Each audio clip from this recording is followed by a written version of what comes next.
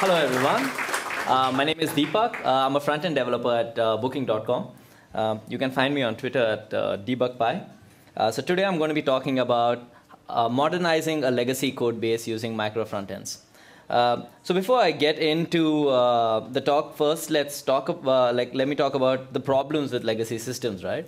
Uh, so usually legacy systems are like very tightly coupled. Uh, a change in one part of the system uh, leads something else to break usually these systems have a lot of accumulated tech, technical debt over the years.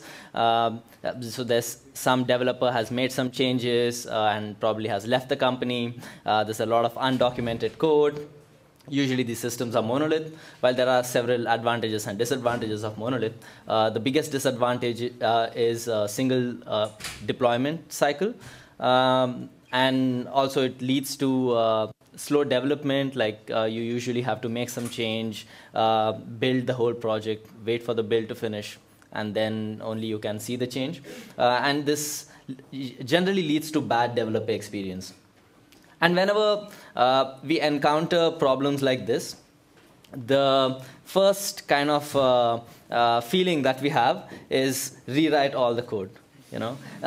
And this is like a very natural reaction for engineers as well uh, mostly because writing code is way easier than reading someone else's code. I think uh, all of us have uh, you know uh, kind of can recognize with that feeling.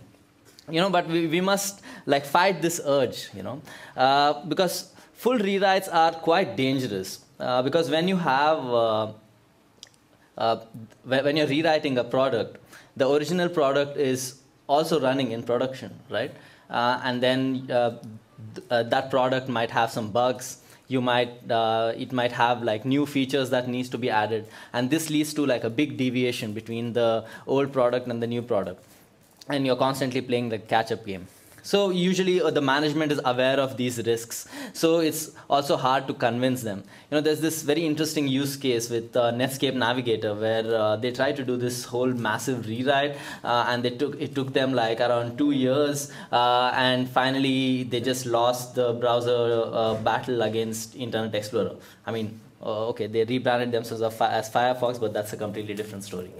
Um, so to combat this, we use uh, uh, this pattern called as uh, strangler pattern, which was coined by Martin Fowler during one of his trips to Australia.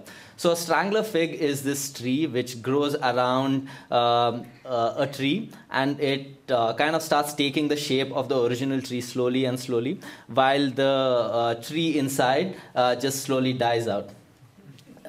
so this is how it kind of looks like, the tree.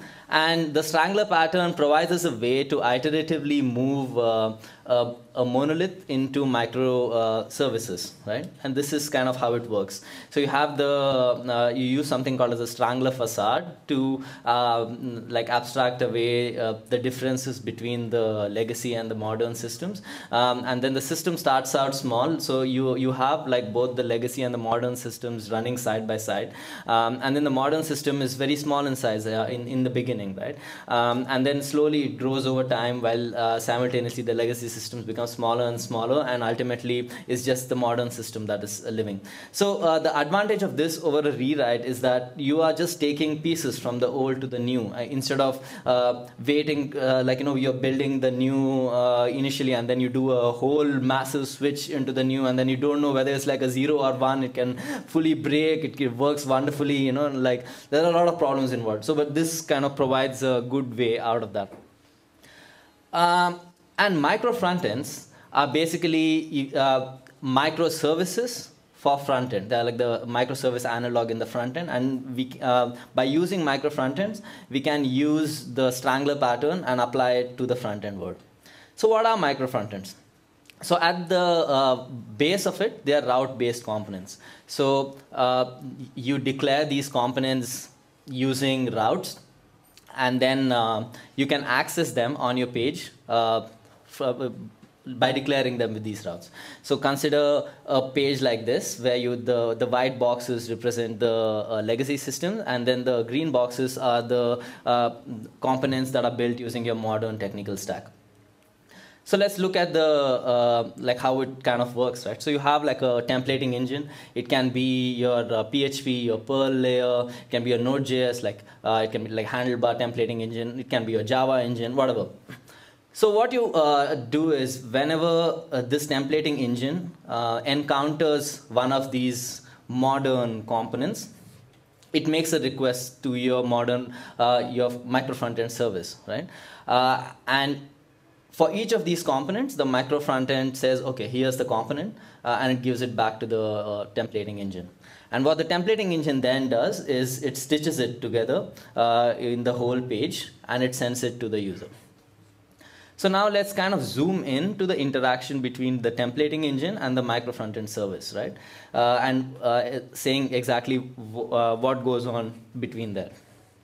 So the templating engine requests a micro frontend service saying that, okay, give me the component A uh, at this route. And then the micro frontend service is responsible for giving it the whole component. So let's kind of zoom out and look at what a component is. So a component has a bunch of HTML that uh, tell you know that represents some the structure. You have some css that represents styles. You have javascript that represents some behavior. You also have some data that is coming from backend right? Uh, so the micro frontend service is uh, is responsible for sending uh, each of these individual pieces. Now let's look into detail on how it's done.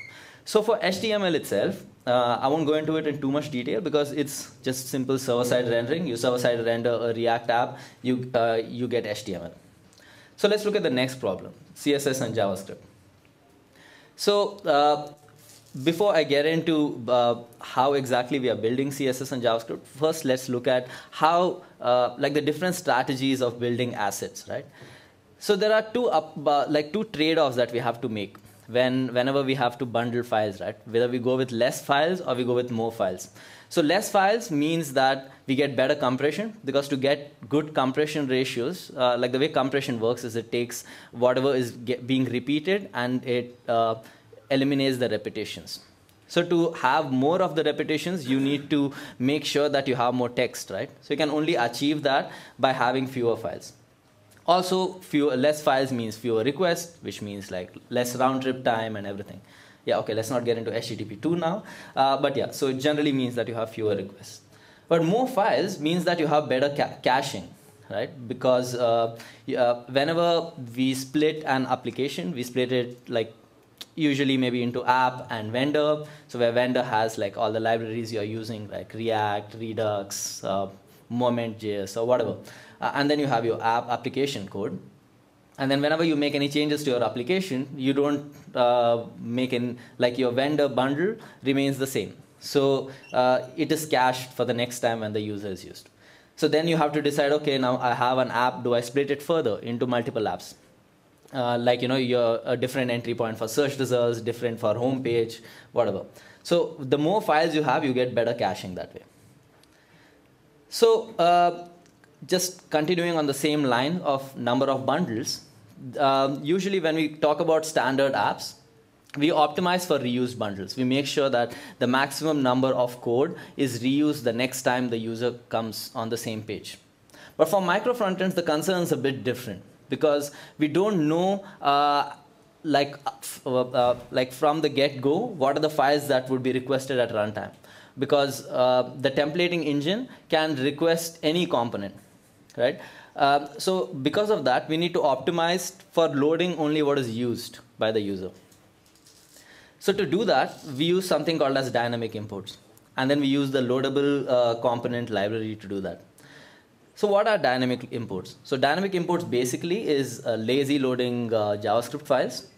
So instead of uh, knowing upfront, uh, like instead of declaring these script files um, in your HTML, you declare them in your JavaScript, and then you load them dynamically.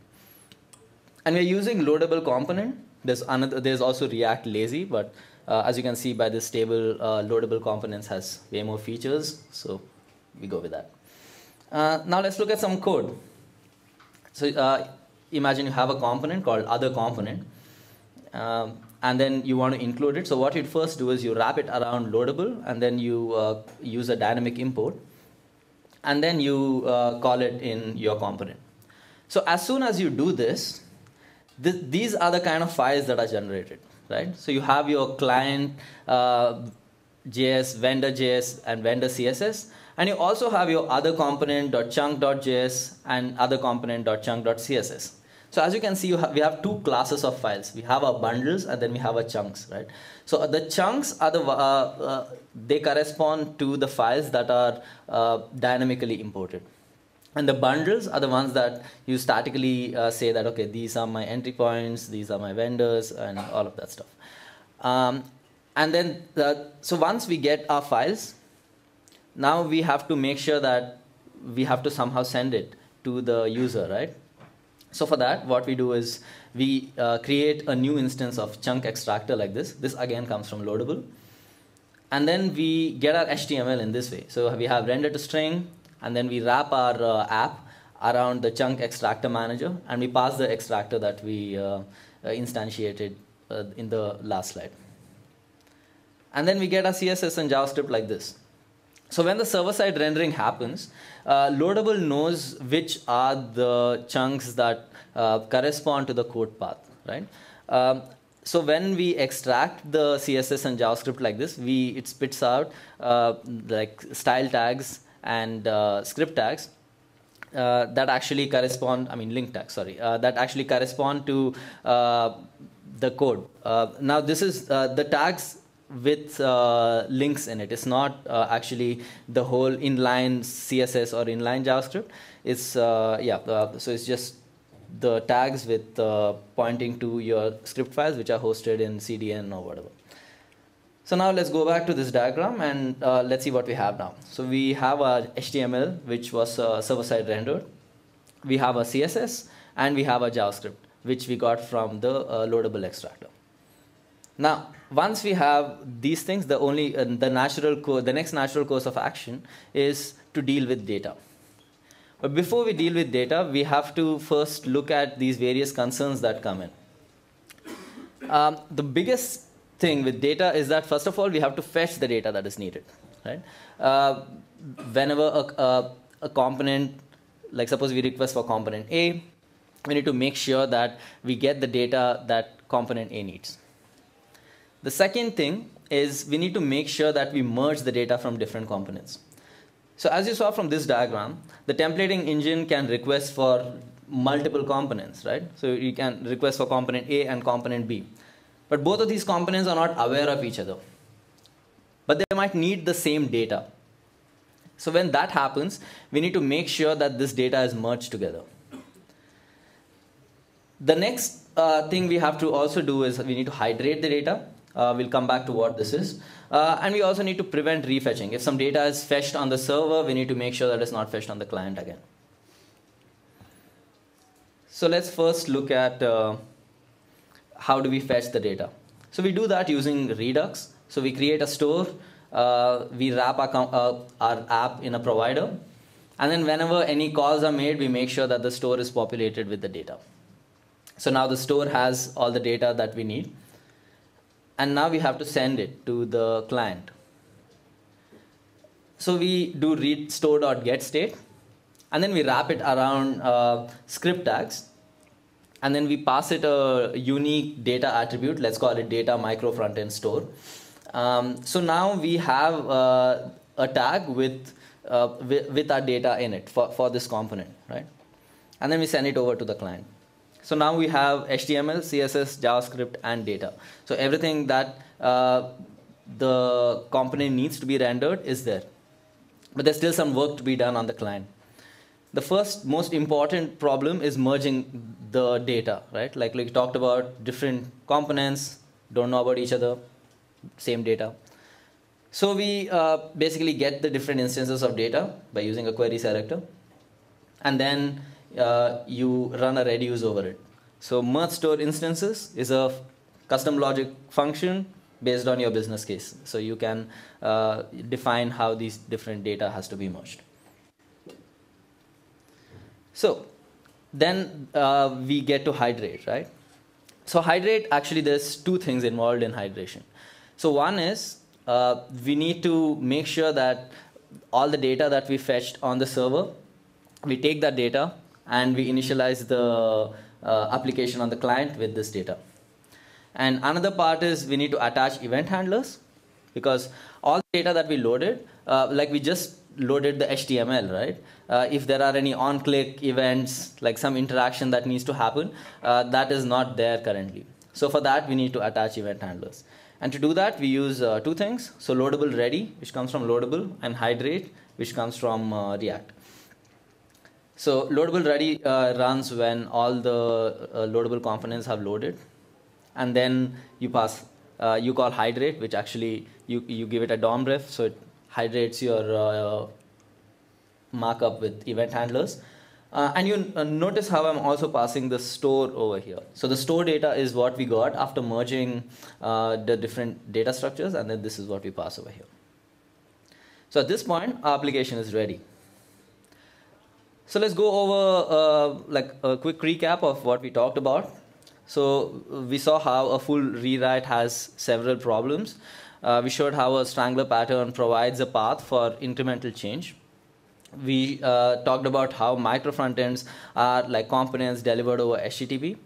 We uh, kind of took a zoom out and we saw how components are composed of HTML, CSS, and data we saw different bundle optimization strategies for micro frontends, and we also saw how uh, data in micro frontends can be served. So that's it. Thanks everyone for attending my talk.